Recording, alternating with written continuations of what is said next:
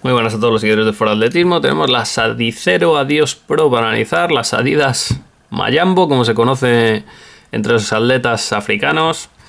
Estas Adidas Adicero Adios Pro son la zapatilla del momento, la zapatilla eh, con más hype, digamos, de, de, los últimos dos meses, de la que más se ha hablado sin lugar a dudas, ya que ha batido a las zapatillas y a los atletas de Nike en varias carreras y se ha hecho con dos récords del mundo de media maratón Así que es la zapatilla, eh, digamos, más eh, caliente de, los últimos meses y sin duda va a ser una de las zapatillas hipervoladoras más vendidas en 2021 por las características que os vamos a contar.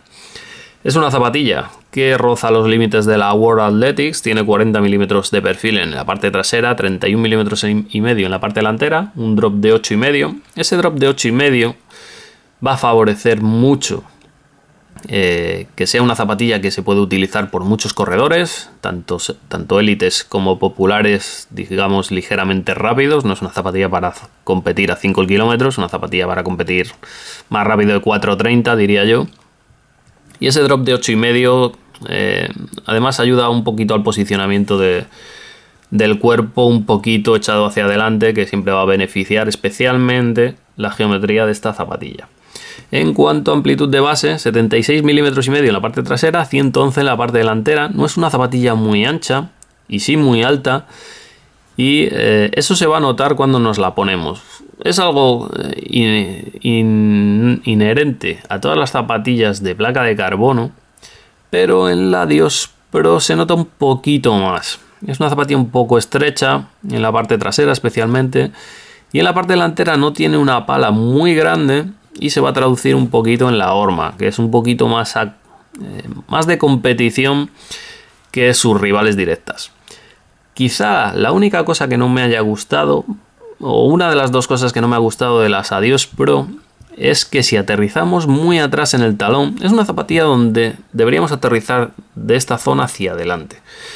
Pero si aterrizamos en el talón, deberíamos aterrizar de aquí hacia adelante porque de aquí hacia atrás es una zapatilla un poquito inestable en el talón. Eh, lo vais a ver, tiene un biselado muy marcado y el material es muy blando y al aterrizar muy atrás vamos a tender a volcar un poquito hacia afuera. Eh, es algo que tienen muchas zapatillas del segmento pero deberíais saberlo porque es un, si aterrizáis muy atrás es un poquito molesto el tener que recuperar con el tobillo, es un esfuerzo que no deberíamos estar haciendo cada 2x3, así que es algo a tener en cuenta. En cuanto a materiales de media suela, pues tenemos el Light Strike Pro. Adidas no ha querido decir eh, eh, de qué se trata el material. He buscado, me he intentado informar, eh, y creo que es una EVA mezclada con un plástico expandido, un TPU, un PEVAX, un polietileno, algo así. Lo que está claro es que tiene un porcentaje muy alto de ese plástico insuflado en la mezcla con la EVA, por el rebote que tiene, por el color que tiene. Eh, no creo equivocarme mucho si eh, aseguro que, tiene ese tipo de mezcla esta Adidas eh, Adios Pro.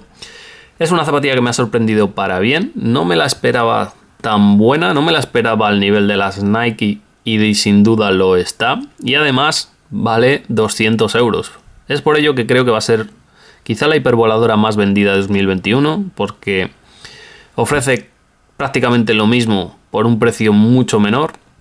Además, eh, en cuanto a imagen, por ejemplo en este color que vemos así, tipo coral, en gradiente hacia un morado, es preciosa, me parece espectacular la zapatilla.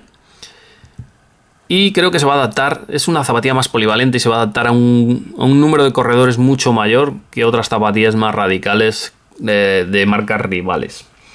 En cuanto a la estructura interna de la zapatilla, tenemos una composición diferente a lo que está haciendo otras marcas. Adidas lo que ha intentado hacer es dotar de una placa de carbono. Esta placa de carbono, digamos que recorrería toda esta zona, es un poco redondeada por atrás. Y en la zona externa es un poco más larga que en la zona interna, ¿vale? Eh, eso se debe porque al aterrizar mucha gente aterriza de medio pie y además, aunque aterrices de talón, se transiciona por esta zona externa y lo que hace la, la placa de carbono básicamente es dar estabilidad dentro de un material tan tan blando. La Strike Pro es uno de los materiales más blandos que podéis tener en los pies, 44 grados de dureza. Así que lógicamente necesita una placa de carbono en la parte trasera. Y en la parte delantera, lo que han hecho los alemanes es algo muy diferente. Y es, eh, lo podéis ver, las cinco varillas, lo veis en negro a través de la suela, y es que están muy pegadas a la suela. Con 5 o 10 kilómetros ya vais a ver grabadas las varillas en la suela, no creáis que, tiene muchísimo desgaste esta zapatilla. Vais a ver que tiene 5 varillas con longitud eh, cambiante. El primer meta es la más larga y luego va descendiendo hasta el quinto meta, que es la varilla eh, más corta. Esas varillas también son de un plástico eh, rígido reforzado con carbono. Supongo que un TPU. Y lo que hacen estas varillas es dar un poquito de independencia dependiendo del metatarso. Eh, cada uno tiene una técnica y una placa de carbono lisa va a ser igual de rígida en todos los puntos. Y puede que tu quinto meta sufra más que el primero esa rigidez. Pues lógicamente no es tan fuerte como la placa, o sea, como el primer meta. Así que con esta estructura diferenciada según los metatarsos, lo que consigue Adidas es que a la larga tengan menos problemas, eh, ya sea de huesos o, de, muscular en la planta del pie. Y lo que más me ha sorprendido es que yo no daba un duro porque eh, una zapatilla con dos piezas rígidas, una placa en la parte trasera y varillas en la parte delantera, pero independientes, no tienen continuidad.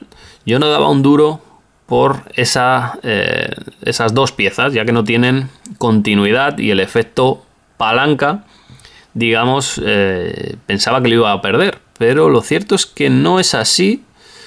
La zapatilla tiene mucho rebote.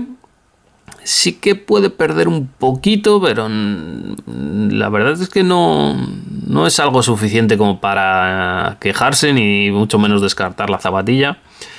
Y sí que es una zapatilla que considero que teniendo muy buena técnica, aterrizando en esta zona, es mejor que otras zapatillas con placa completa.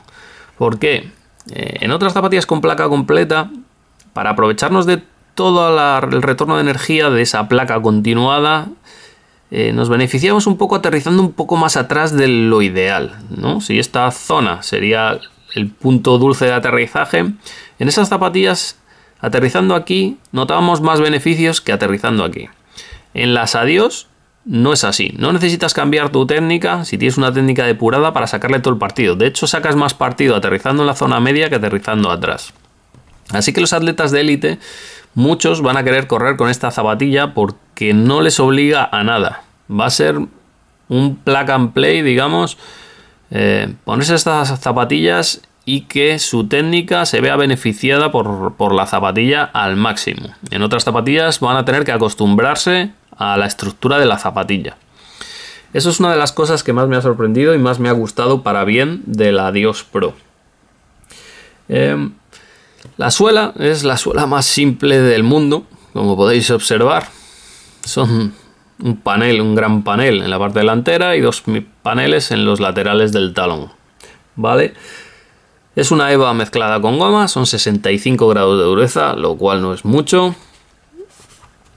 Y eh, como veis tampoco es que tenga muchísimo perfil, tiene un milímetro de perfil, lo cual no es una zapatilla que vaya a ser muy duradera de suela. Además, como es tan tan lisa, como veis, los pequeños relieves que tiene, como aquí, no sé si lo vais a notar, es la varilla que pasa por ahí, no tiene ningún relieve. ¿vale? En la Dios Pro 2 creo que lo cambian y trae taqueado.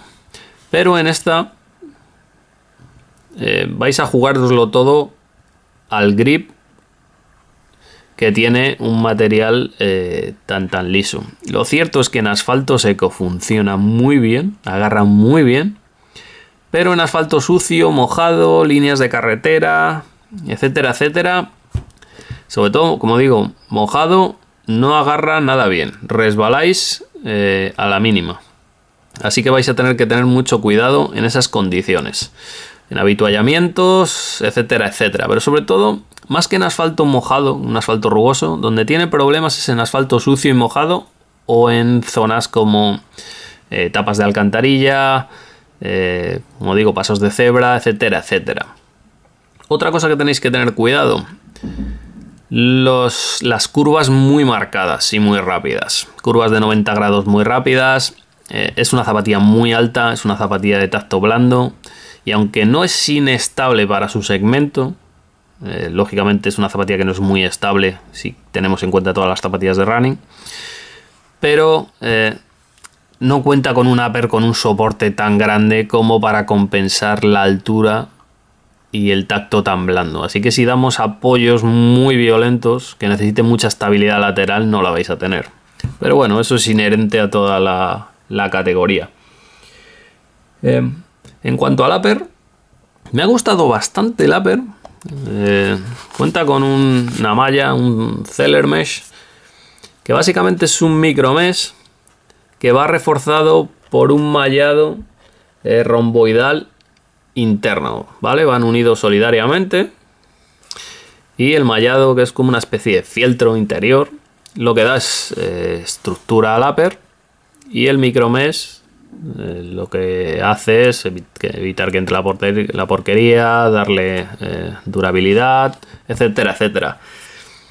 Estas Adidas Adicero Adios Pro siguen contando con ese diseño eh, en homenaje a los Juegos Olímpicos de Tokio, con las tres líneas dibujadas como si fuera un pincel de escritura kanji japonesa.